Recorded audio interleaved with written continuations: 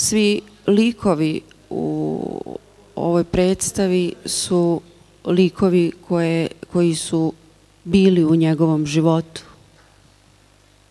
koje on posmatrao, gledao, doživljavao. Neki su bili jako bliski u porodici, neki su mu bili prijatelji, neki su bili poznanici. Tako da su to bili ljudi koji su ga se jako ticali na osnovu čega je i odlučio da napiše ovaj tekst i ovu, da radi ovu predstavu. Očigledno je da ga se jako ticalo ovaj, jer ima mnogo, mnogo njega u ovoj predstavi. Njegovog života, njegovih strahova, njegovih dilema, njegovih tragedija